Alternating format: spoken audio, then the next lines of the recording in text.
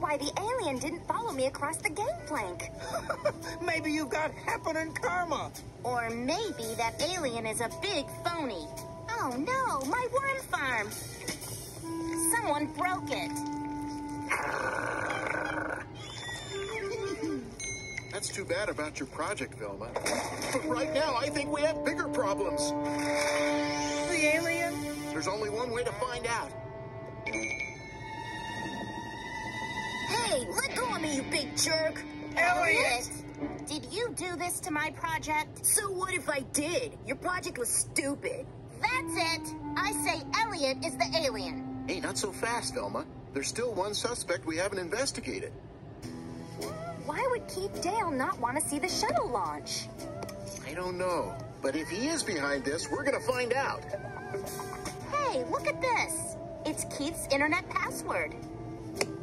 Keith Razorchuck. So? So, Razorchuck? Maybe Dale wasn't always Keith's last name. Here's an article. It looks like Keith Razorchuck was a pretty good scientist. And look at this, an article he wrote about artificial intelligence. That's what Janet won the Nobel Prize for. It looks like they were both working on the same idea, but Janet published her research first. So, if Keith lost the Nobel Prize to Janet, maybe he's trying to get revenge by sabotaging her new project. Hey, who do you think's creeping around in the dive tank room at this time of night? Yep, my thought exactly.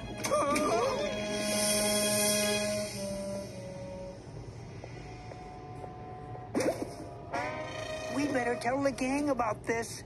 Now, what would a janitor be cleaning in here? And why so late at night?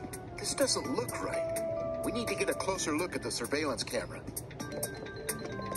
Almost got it. Like hell! What's that? Oh, I forgot all about the dehydrated food I shoved in my pockets. The water must have caused it to expand. Hmm, interesting. And this looks like some sort of ring.